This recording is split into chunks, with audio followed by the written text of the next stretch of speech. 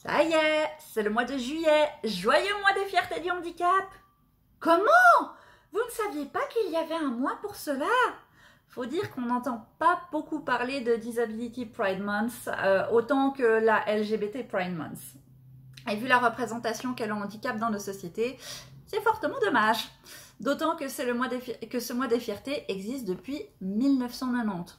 Pas aussi vieux que la Pride LGBT, c'est vrai, mais quand même. Du coup, à quoi sert ce mois des fiertés?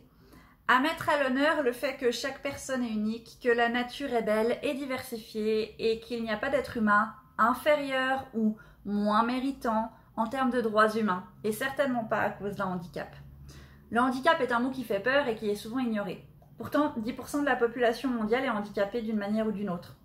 Malheureusement, le handicap reste encore très fortement marginalisé et discriminé, laissant la grande majorité des personnes concernées dans des situations précaires. Pour les personnes qui ne me connaissent pas, bonjour, je m'appelle Cory je suis handicapée.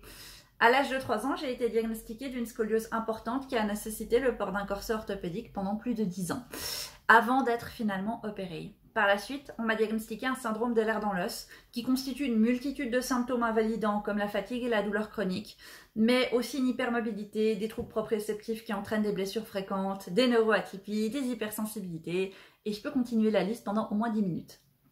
Si vous voulez en savoir plus sur le syndrome d'air dans l'os, je vous renvoie à ma playlist sur le sujet. Du coup, quel est mon rapport au handicap?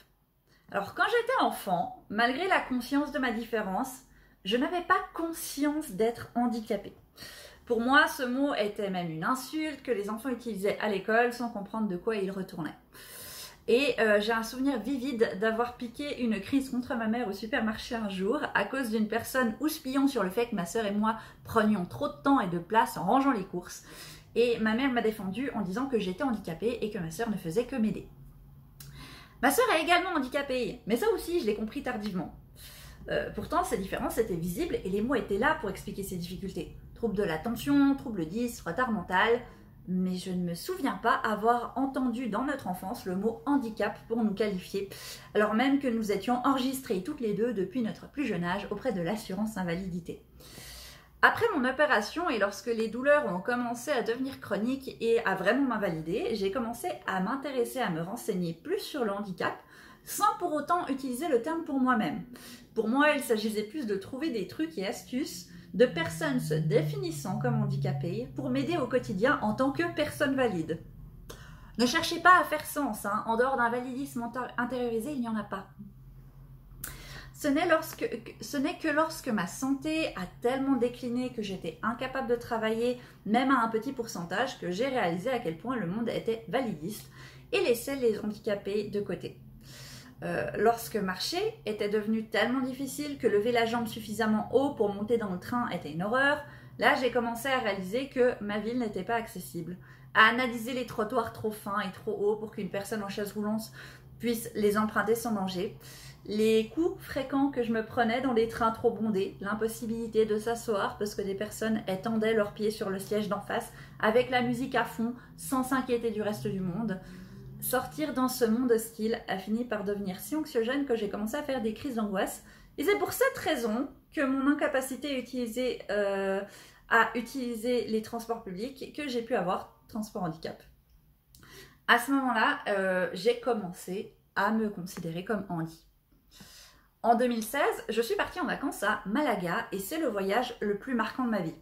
En dehors de l'hôpital, sur toute ma vie, j'avais probablement croisé 5 euh, personnes en fauteuil roulant au maximum. À Malaga, je n'ai jamais vu autant d'handicapés. Des chaises roulantes toutes les 10 minutes. Comme si tous les handicapés du monde s'étaient donné rendez-vous dans cette ville. Pendant mes vacances. Tous les restaurants et magasins où on se rendait étaient accessibles aux fauteuils roulants. Et c'est à ce moment-là que j'ai réalisé que l'inclusion était vraiment un choix politique.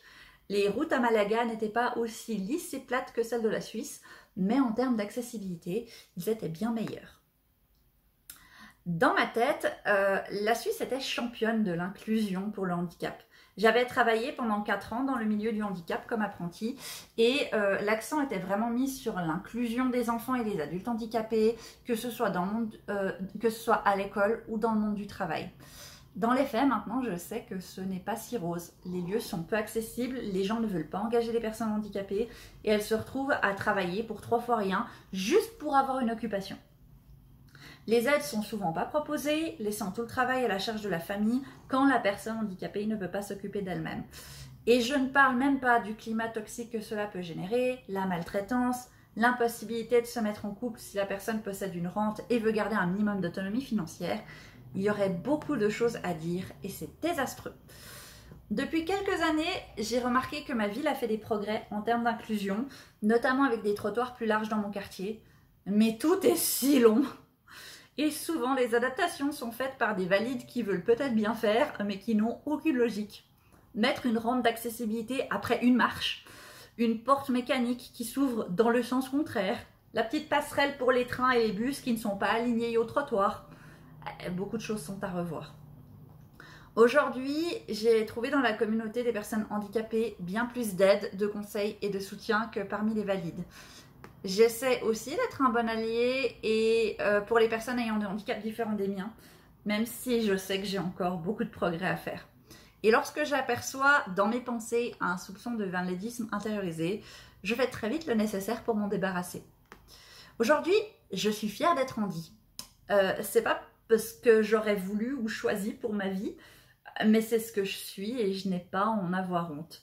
J'embrasse mon identité complètement et même si des fois ça m'embête, on va pas se mentir, je me rappelle que 95% du problème, c'est pas mon handicap, c'est la société validiste qui manque d'égalité et d'équité.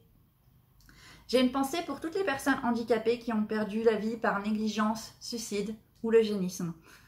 Pour les personnes handicapées de Suisse, je ne suis pas maître en la matière, bien sûr, mais si vous avez des questions sur vers qui vous tournez, par exemple pour avoir accès à Transport Handicap ou à d'autres services, n'hésitez pas à la poser en commentaire et j'essaierai d'y répondre.